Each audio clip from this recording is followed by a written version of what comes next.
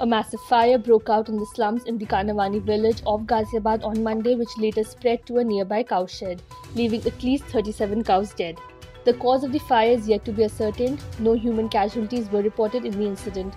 According to the statement of the district magistrate, an inquiry has been ordered into the incident to bring out the exact cause of the fire.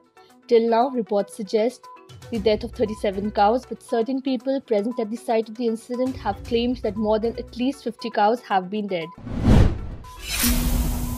In a shocking incident that took place on the Pune Ahmednagar highway, a luxury bus overturned, leaving one person dead and at least 25 suffered injuries. The accident took place at Bajrangwadi in Shirur late Sunday night when the bus got hit by a car and the driver lost control. The video of the tragic incident went viral on social media, in which the bus can be seen overturning to one side and sliding into an open space of a restaurant along the highway. A case has been registered against the bus driver under relevant sections. In a row of 12 ropeway trolleys that collided with each other in Jharkhand's Deoghar district, at least three people died and more than dozen still remain stuck.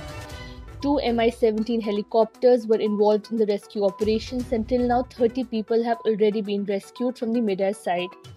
One person died during the rescue operations who reportedly hailed from the Burdwan district. According to the reports, a technical snag led to the collision of the cable cars.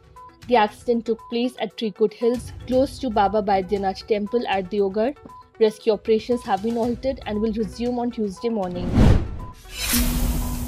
Pakistan Muslim League Nawaz leader Shehbaz Sharif was elected as the new Pakistan Prime Minister through a voting in Pakistan National Assembly that was held today.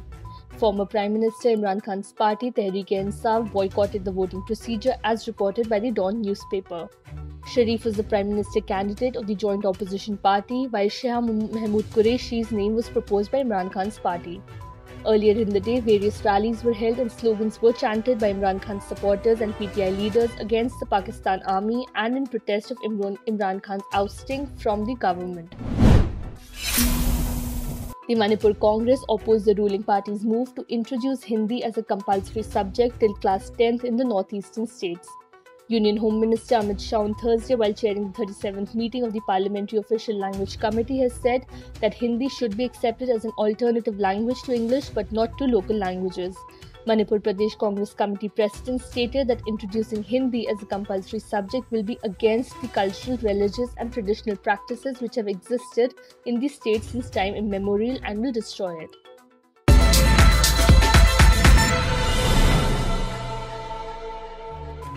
Subscribe to Oneindia channel and never miss an update.